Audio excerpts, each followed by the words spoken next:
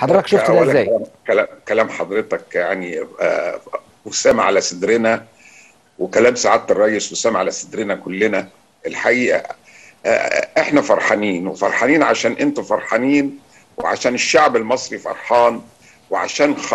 يعني الحقيقة سكتنا كل الألسنة كل من هب ودب اتكلم فالحمد لله إحنا يعني أثبتنا عمليا قدرة رجال الرجال المصريين والسواعد المصرية والعقل المصري إن هو فعلا نعبر من هذه. هي كانت أزمة.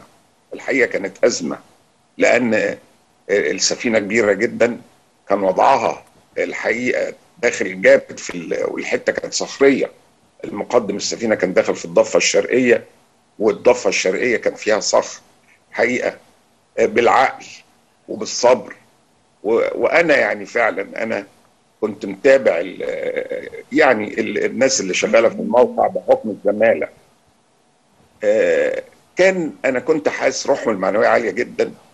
كانوا في منتهى التفاؤل. كانوا الحقيقة حتى روح المرح ما غابتش عنهم. فالحقيقة كان الواحد مطمن وكان سعيد وحصل فعلا. حصل. أنا يعني عاوز أقول لحضرتك حاجة. أنا كنت مع روسيا اليوم.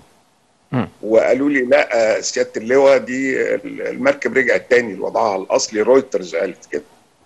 قلت لهم اطلاقا أنا قدامي من ولادنا في القناة بيقولوا إن المركب في محور قناة السويس ومبحرة وبماكيناتها ودي الحقيقة دي الحقيقة. فالحمد لله رب نرد على كل المشككين. أما بقى الموضوع الثاني اللي حضرتك اتكلمت فيه اللي هو البدائل. آه. البدائل ده بنسمعه من زمان. سواء البديل اللي هو الإقليمي اللي طريق الشمال. من خلال روسيا عن آه، أو الخط التجاري عن طريق إيران لأوروبا عبورا بروسيا وأخيرا بقى اللي بيتقال عن نقل البضائع عن طريق آه، أشدود إيلات هل هل البدائل دي كلها ممكن إن هي فعلا تغني عن قناة السويس أو تكون بديلة. لقناة السويس؟ اطلاقا اطلاقا وهم عارفين كده كويس حضرتك 18000 حاوية حضرتك عاوزين كام قطر عاوزين كام عربية قطر وعاوزين وقت قد إيه وعاوزين جهد قد إيه وتكلفة قد إيه. ال- ال- السفينة بتعدي في 12 ساعة في قناة السويس وبنربط الشرق والغرب في أسرع ما يمكن يعني. والتكلفة معقولة جدا استهلاك الوقود بيبقى بي- بيقل كتير قوي بدل ما تلف حوالين رأس رجاء الصالح الحقيقة كل ده إزاي؟ كل ده يعني حضرتك 18000 حاوية على سفينة واحدة بتروح من الشرق للغرب. حضرتك كام قطر أو كام عربية قطر عشان ينقلوا كمية البضائع دي وكمية الحاويات دي؟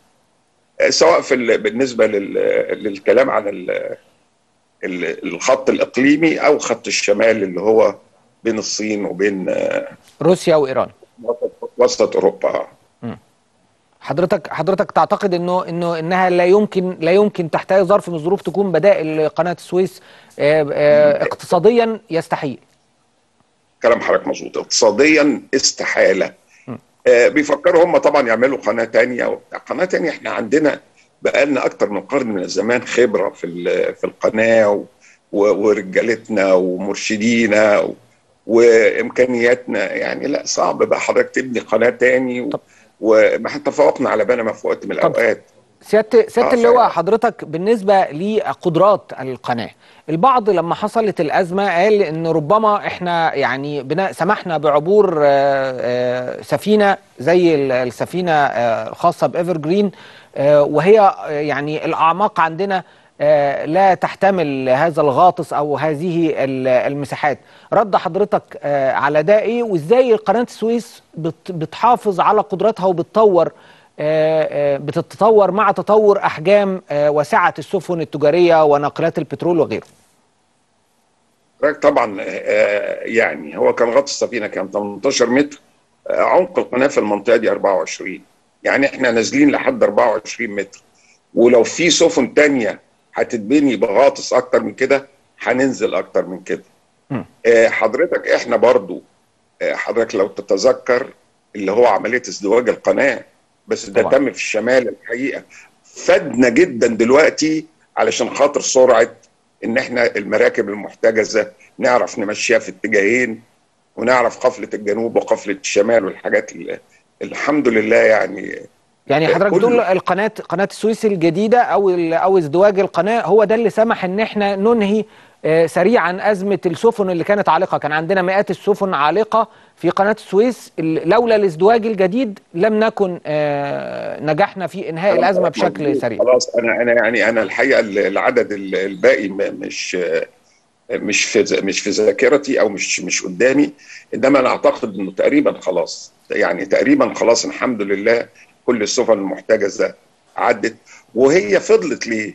فضلت لأنها كانت على ثقة تامة إن م. فعلا الموضوع هيتحل وإن شاء الله هي- هيعدوا القناة بسلام وهيروحوا وجهاتهم الحمد لله